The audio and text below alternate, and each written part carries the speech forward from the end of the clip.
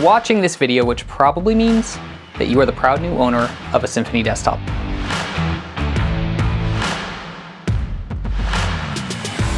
First and foremost, just want to say congratulations. We are so incredibly proud of this product. It is the most feature-rich and advanced audio interface that we have ever developed, and we know you're gonna love it. Let's take a look at what comes inside the box.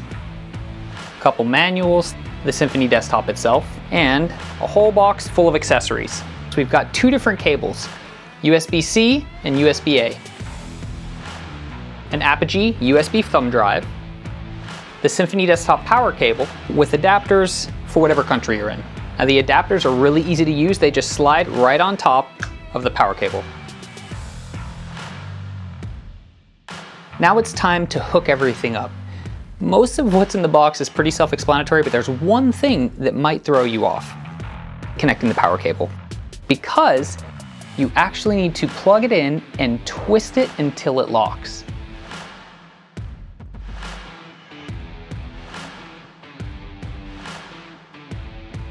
All right, so I've got everything connected. Next, I wanna power my Symphony desktop on by clicking on the dial. Now when you power your Symphony desktop on, you're gonna see the screen flash white a bunch of times. This is completely normal, it's part of the boot sequence. Great, you got everything connected, you've got your Symphony desktop powered on. Now depending on when you purchased it, you're gonna see one of two different things on the screen. Regardless of what you see, it is very important that you update your unit. You can do that by heading over to our registration page either by following the link here, or you can go to apogeedigital.com forward slash support forward slash register. Fill it out, and at the end of the registration page, you'll get a link to download the most current software.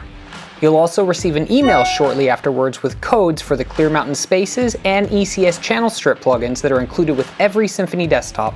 Once you've completed the download, it's time to update your Symphony desktop using the included USB thumb drive. Double click on the DMG or zip file, depending on if you're using Mac or Windows, and take the Symphony Desktop installer file and drag it onto the USB thumb drive that came with Symphony Desktop. Once the file transfer is complete, you can eject the thumb drive and insert it into the back USB port of your Symphony Desktop. Navigate to the settings area of your touchscreen display by clicking on the gear in the upper left-hand corner and scroll over until you see Update and then check for Update. When the update's finished installing, your Symphony desktop will restart to load its newest software, and when it's done booting up, you're good to go. If you'd like more information on the setup or update process, check out our step-by-step -step guide.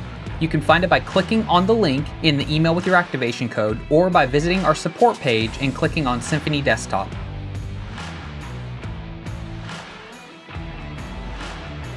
From all of us at Apogee, thank you for choosing Symphony Desktop.